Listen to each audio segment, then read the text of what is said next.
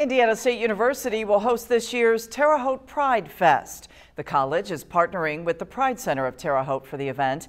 It's an opportunity to make LGBTQ plus people feel welcome in the community.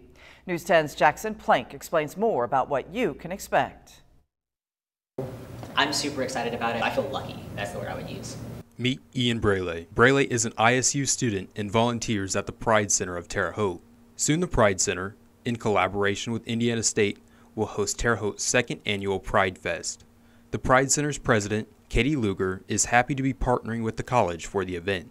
And because of that support, we're able to welcome 75 vendors of LGBTQ owned businesses, community groups, businesses, um, food vendors, and more. As for Brele, he is happy to have a community that opens its doors to LGBTQ people. If you would like to attend Pride Fest, it's coming up soon. It will take place on Saturday, September 16th from 3 p.m. to 8 p.m. on ISU's quad. Admission is free. Reporting in Terre Haute, Jackson Plank, News 10.